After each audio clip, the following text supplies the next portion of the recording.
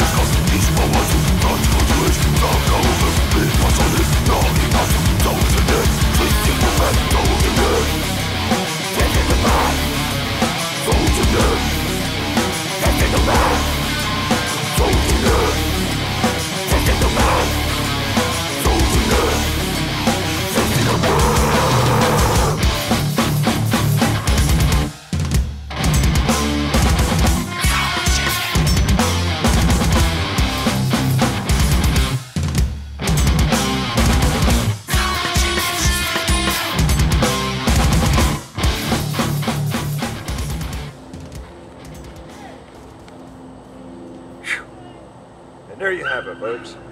A complete do-it-yourself Xerox 5820 copy machine. Don't spend $5,000 on one of these bad boys. Build it yourself.